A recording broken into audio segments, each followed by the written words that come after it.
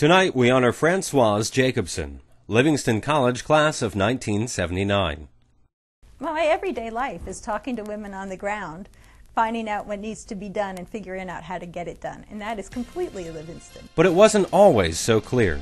She dropped out of high school because she just didn't like how things worked.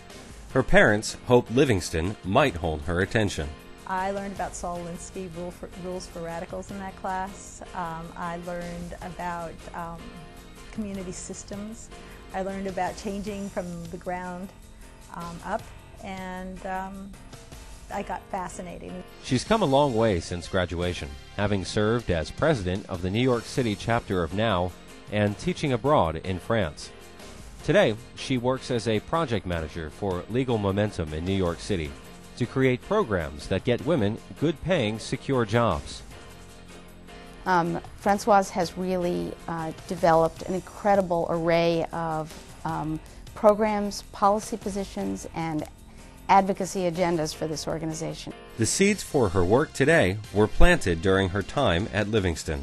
And this is really something that I got from grassroots um, organizing and community organizing that I learned at Livingston is that you need to know who the people are, the, are what people are doing on the ground. What are they thinking? What are their needs? What do they want? And if you don't ask there, then the policy you get is not going to really um, look like what you want it to look like.